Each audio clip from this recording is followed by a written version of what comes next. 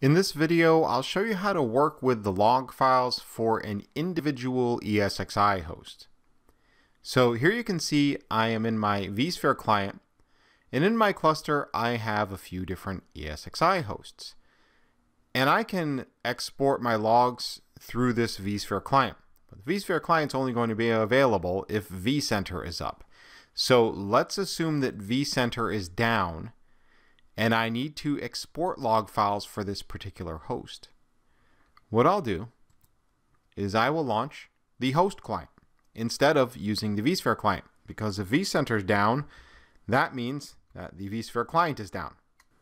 So here in the host client, I've clicked on host at the left and I can just simply click on actions and under actions, generate support bundle. So the only time you'd probably ever really do this is if VMware Support asks you to do so. Here you can see down in the recent tasks screen that my log bundles are being generated. I would expect this to take approximately five minutes. And when it's done, a little window here will pop up allowing you to download the exported log bundles.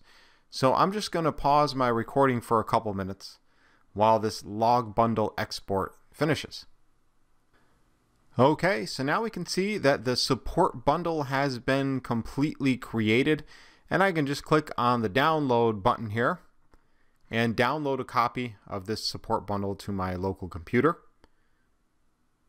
And I'm just going to go ahead and click on that support bundle and open it up. And again, I'm using WinRAR to extract the contents of this file. And so let's take a moment to explore what is actually included in these log files. You'll notice that they are similar in format to the vCenter logs, if you've been looking at the vCenter log files as well.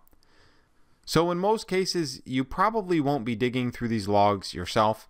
You'll just ship them off to VMware support and let them analyze the contents of those log files.